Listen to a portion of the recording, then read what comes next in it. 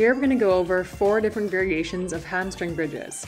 I'd recommend taking your shoes off and going barefoot or with socks and with a mini foam roller rather than a large one.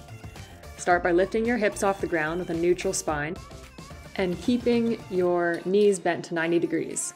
Now I'm showing a variation where I'm pointing and flexing my feet, but you could also just hold this position at your ankle with your heels pressed into the foam roller. To make this harder, extend your knees further out than 90 degrees. The next variation, I'm going to go for my forefoot, so just the ball of my feet and my toes are on the foam roller. The easier variation is to start with my knees at 90 degrees and to just hold, but I can also make this variation harder by doing a little in and out rocking motion with my feet. And again, to make this harder, extend your knees further out.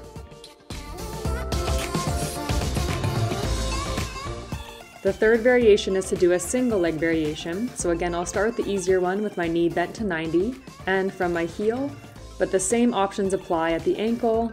I'm just doing one leg at a time.